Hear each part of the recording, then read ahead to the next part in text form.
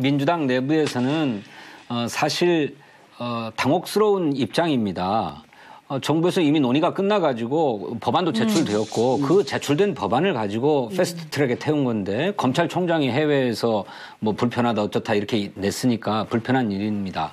사실 이거는 처음은 아니에요. 뭐 이명박 정부 때 김준규 당시 검찰총장이 임기를 24일 앞두고 사표를 낸 이유가 바로 이 검경 수사권 조정 때문이었습니다. 그에 반발해서 예. 그렇기 때문에 이것이 보통 간단한 문제가 아닌데 더욱 안타까운 거는 이놈의 연동형 비례대표제에 낑겨오는 바람에 이슈화가 안 된 거예요. 사실은 이게 엄청난 사건이거든요. 그러니까 터질 것이 터졌다고 보는 것이 맞다. 그러니까 어 거기까지.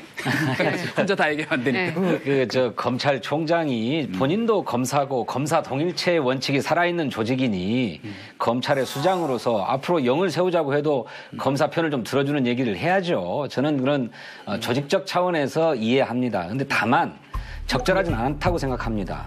정부 내에서 합의가 이루어진 사안입니다.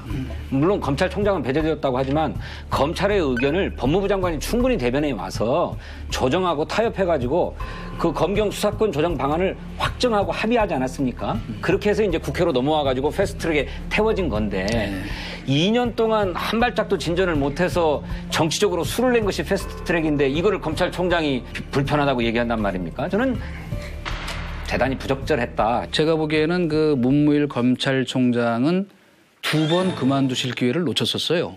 첫째는 뭐냐. 2017년 가을에 본인이 적폐청산 수사 연, 연내에 끝내겠다 그랬는데 중앙지검장이 그 다음날 그걸 깔아뭉개듯이 우리는 계속한다 그래가지고 지금까지 계속하고 있죠. 그리고 문재인 대통령께서도 적폐청산 수사는 살아있는 수사기 때문에 계속할 수밖에 없다.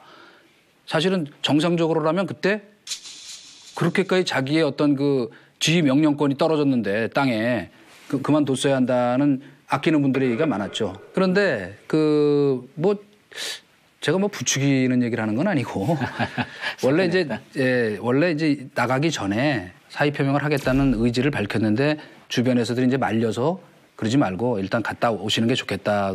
그래서 나갔는데 이걸 앞당겨 들어오고 또 더구나 해외에서 어, 냈다는 것은 사실은 뭐 그 심상한 일이 아니죠. 그리고 어 저는 뭐 사표를 낼 것으로 봅니다. 왜냐하면 그러지 않을 거면 이런 분란을 일으킬 그 성품이 아닌 분이기 때문에 여기서 더 이상 물러날 수 없다고 하는 뭔가 비장한 그 결의도 있었으리라. 저는 왜그 그 문무일 검찰총장이 이런 말 하지 않았어요? 농부는 비 올 때를 기다리고 뭐 또 뽕 따는 안악내는 흐린 날을 기다리고 하늘 노릇하기 참 힘들다. 음. 임명장 뭐 수여식 그런 때말그 얘기를 했었어요. 네.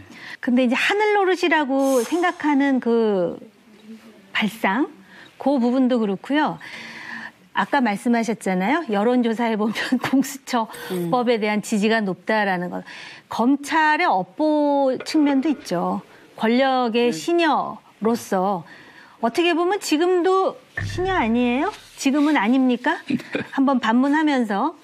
그래서 검찰 개혁을 해야 되는데 이렇게 함으로써 결국은 그 검경의 수사권 조정이라든지 또는 어떤 그런 새로운 그 시스템이 갖춰짐으로써 결국은 권력의 남용을 막고 더 이상 권력의 신여 역할을 안 하고 정말 공직자의 부패가 사라지는 구도로 갈 것인가. 그렇게 됐으면 좋겠는데 근데 검찰은 이거 업보예요.